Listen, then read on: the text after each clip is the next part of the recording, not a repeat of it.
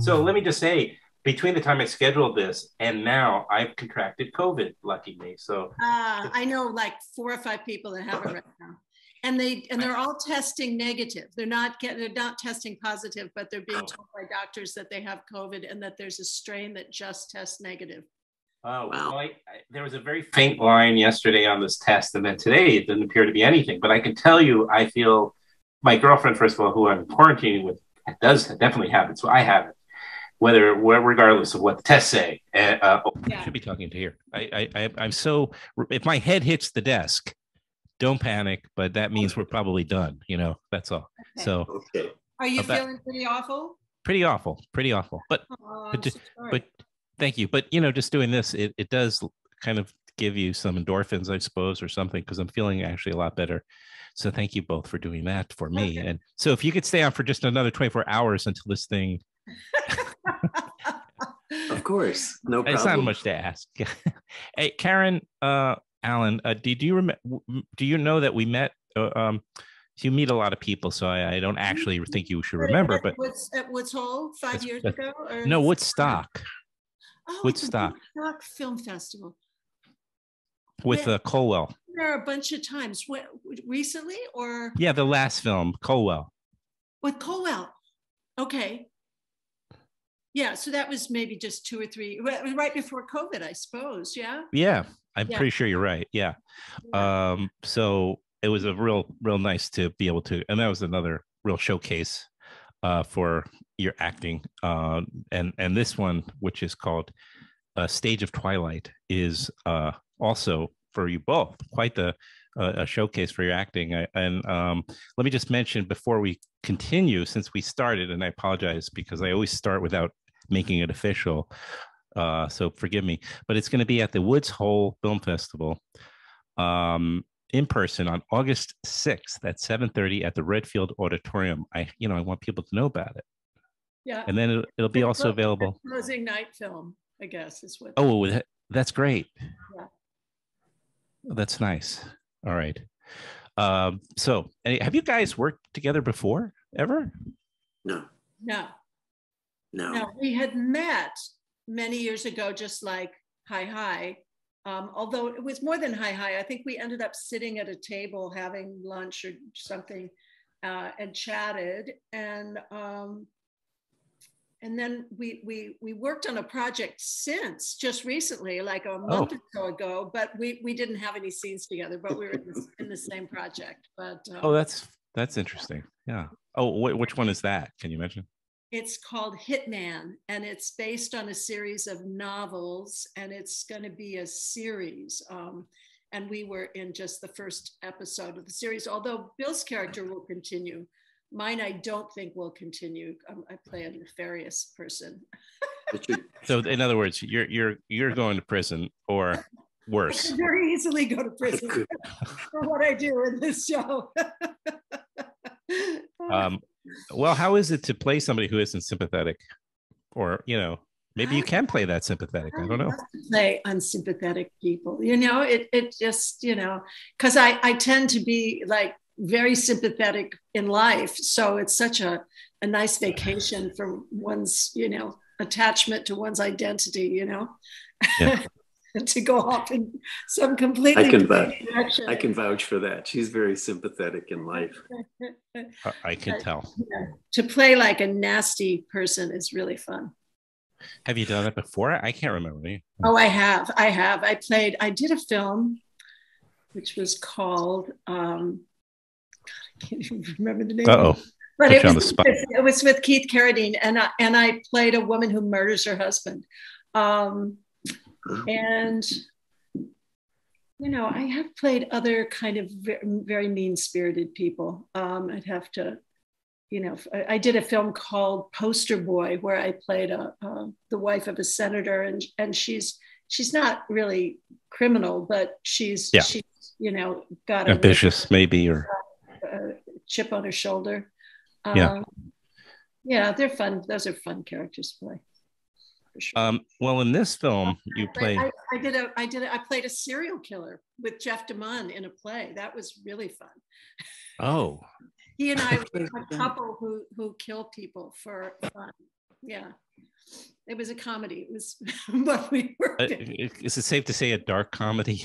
It's a dark comedy. Yeah.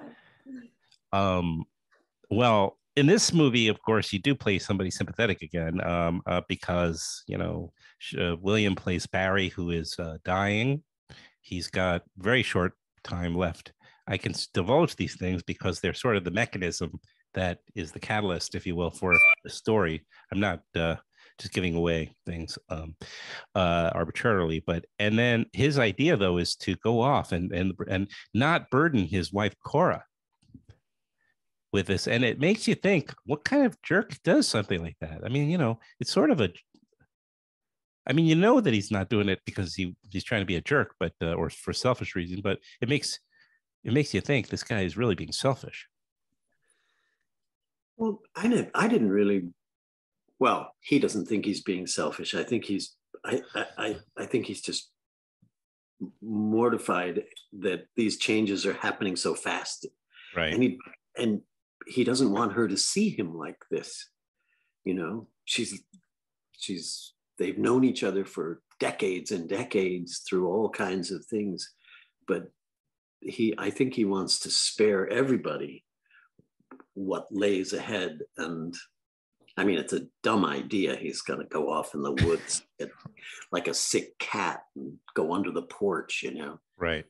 But Exactly what it's like. Yeah. but but you know the, but the- but I think he he does it because he, he's trying to.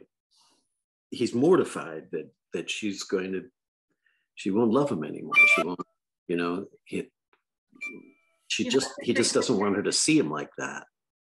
please forgive these notifications. I've had so many people try to get rid of these. I mean, I, I've had to go on to television shows with these notifications after people have. We cannot get rid of it for some Oh. reason that is not explainable. Um, Okay. Oh, Interesting. I didn't. Well, I didn't turn mine off either. is, or is your, does yours do that little clicking thing? Sometimes, yeah. Like this, yeah. Well, normally you can turn them off, but I would I. Oh, well, I'm. I'm I'm lucky if I if I can make it through this, you know, in one piece anyway. So I'm I've that's the least of my worries. I've got COVID uh, up. No, but I, I'm I'm I'm I'm excited to be here and uh and actually I, again, Sorry, go ahead. Oh, I was just gonna say I'm glad I'm just uh grateful. That's all for having the opportunity to see the film and to to talk to you guys uh because you know it really is a film that it, I don't think I've ever seen a film before that de- dealt with an issue like this where you know where he was i mean they have so little time left and they don't know life outside of their relationship you know and um and he's kind of suggesting to he or planning to do the unthinkable in a way you know I was going to add something to what Bill was saying, which is is that the the screenplay is based on a play okay that I had worked on with Sarah for I think six or seven years, and it went through many, many, many rewrites and changes. And you know, one of the the strains or one of the threads that was in the play that I don't think comes through with quite as much strength in the screenplay is Yeah. that is that my character um, Cora has has um, ex- experienced, you know, they both experienced the loss of their child together. And my character also experienced finding her mother having committed suicide. So I think that Ah. there, there was a stronger thread uh, at one time in the piece uh, that really he's protecting her from having to go through up close and personal another Oh, loss on that level because the two people two other people in her life that she was the closest to and cared about the most were Yeah. people who died right in front of departed early from her life and sort of abandoned her. And that she had really you know struggled with depression around these issues. So it, it's i don't think it's as strong as it could be in the play which might help explain like why he's made this decision but but yeah do you need to always tell people what motivations what your motivations are to make? um i mean it i don't know if it's No. necessary yeah That's a theater guy saying that. It is. No, I don't think. The balance goes over to people feeling like they don't understand. uh, They see it as selfish on his part. Um, I think that that brought the balance back into a more of it being a more selfless act in a, s- in a sense, you know, that he would make that decision to protect her from having to go through yet again another trauma. But I think that we don't, at the time in which he, you, your, your character tells me this, we don't know those things about Cora yet. So, Right. you know, we find Right. them out later. Yeah. Right. But it, it, it's also like he they clearly love each other. This is not a I mean, it's not a dysfunctional relationship. Not They at all. they they lean on each other in in wonderful ways. Um, they make each other laugh. Uh, you know, which is great after 40 some years. Um, yes. and I think he he I I I when I read the script, I I I've not been attached to it for six years. Um, when I read the script, I found I found the character of Barry um, just moving and and understandable. I I kind of felt a kinship with him in a way. We're the similar age. I've been married 40 something years. I've had health issues, like serious health issues from time to time. And I could imagine easily how Hmm. how how he would have to how he would feel if he if if I had to face something like that. I don't think I would look for a trailer in the woods, but um, that's funny. My, I'm just remembering my father. My father said a similar thing when he was. Uh, I, I visited him as a boy in the hospital, and uh, he was more. He was mortified that his family was seeing him like this. It was interesting. I just that just occurred to me. Anyway, Well, it's interesting. It, is yeah, that's really something that kind of you just sort of tapped into that memory. But I, I think there is also possibly, I mean, where I kind of relate to it, his decision as much as I can. I could never personally leave Cora, but um, I'd rather just die in a puddle of whatever right at her feet. Uh, but um, that's me, you know. Uh, but no, it's like there's this thing that's there's this thing that's utterly out of his control, right? He, and yet this is his way of, in some small way, of taking control. it's yeah, it's the only thing he has control of anymore.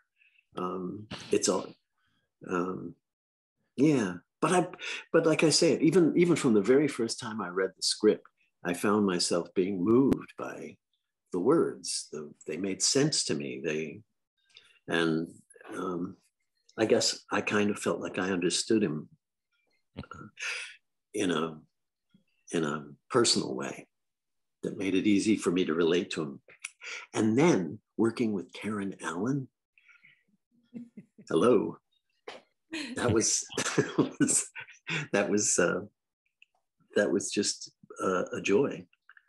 I mean, there's a there's a wonderful sort of contract between actors that um, when you get um, you know you have to go places that you can't go with civilians. Um, and uh, and lean on each other. And she was fantastic. She was just it's it's like a tennis match you know you um, with uh, with a great partner Well, we had we had a wonderful day when Bill first said yes to this role, where we came together with the director um, Sarah Schwab. in Yeah. Great Barrington, Massachusetts, and we just sat around a table and really went over scene by scene by scene in terms of you know what how we felt each scene was working and how the whole kind of emotional line through for these two right people was going and you know sarah was very receptive and open to us really you know looking at how we might change it for the better and make it you know a little more um, uh, authentic. You know, now that you know once once you have the two actors that you're going to be working with, you know you you really have this opportunity which right. a lot of times on films you don't have i mean you don't have the time to do it the actors right. are meeting each other for the first time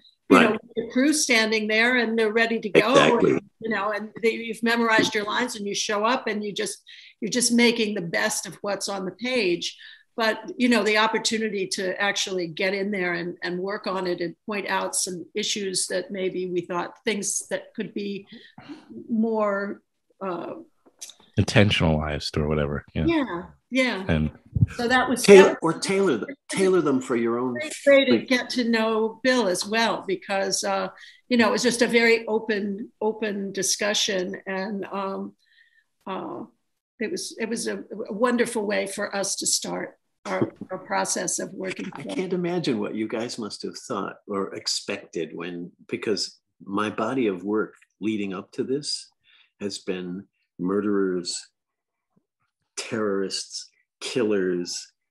Uh, I mean, I've played so many people. Fun at parties. Who could shoot you, shoot you, and then sit on your chest and eat a sandwich.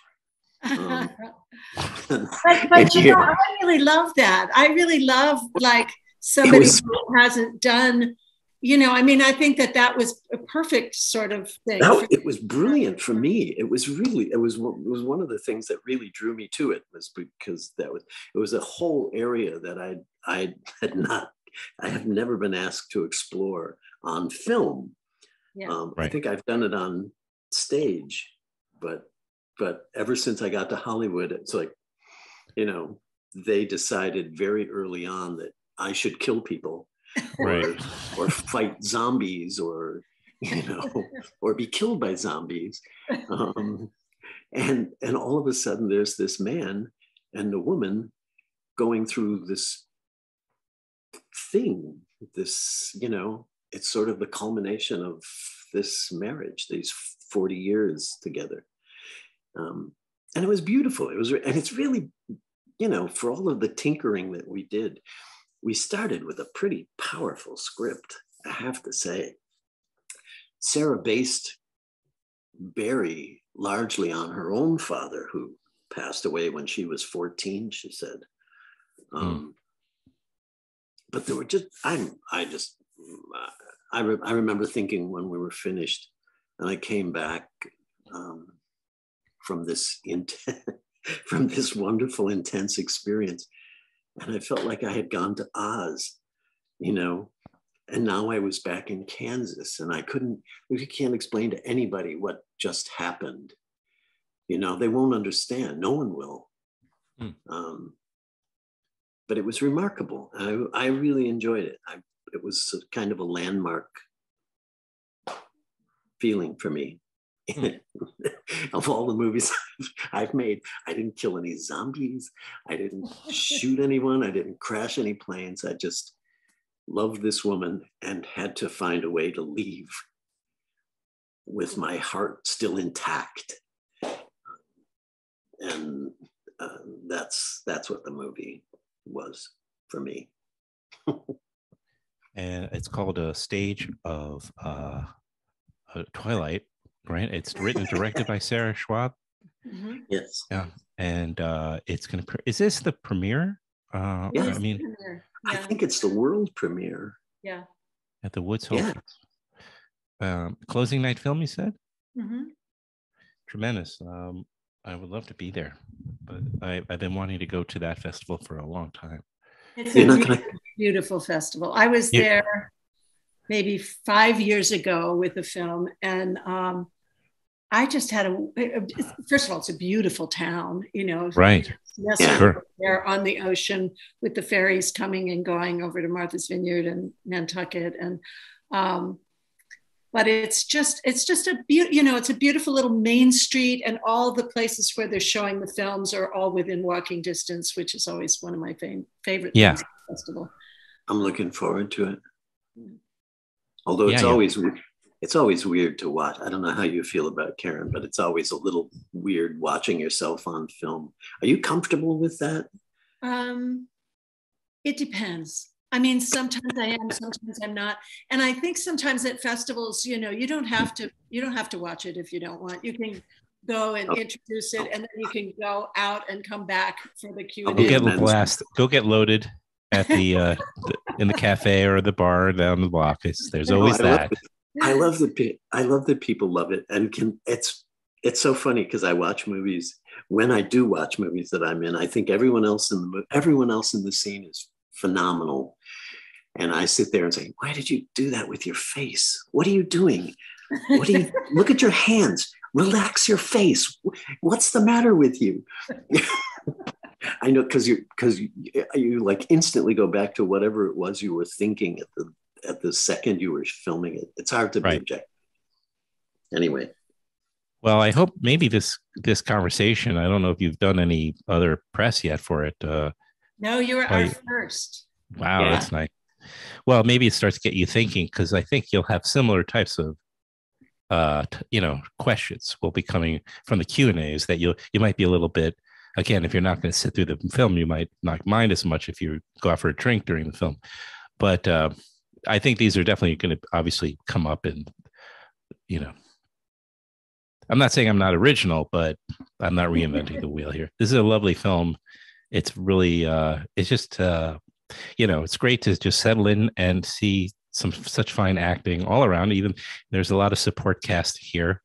Everybody really, you know, does a great job. I'm sorry. Now, see, my I'm I'm guilty of doing that. is that you? Is that Yeah. you, Adam? That Ah. was. Um, sorry about that. Uh, anyway, but Bill, you're also a very good co-host on this uh, podcast. You, I like it when the guests ask each other questions. You know, I really do appreciate it. Well, you're welcome. I've enjoyed, I've enjoyed it. Have a great time in Woods Hole, Massachusetts, and uh, with the with the premiere. I look forward to uh, hearing more and uh, seeing it, uh, and and telling more people about it as it becomes more more available to people.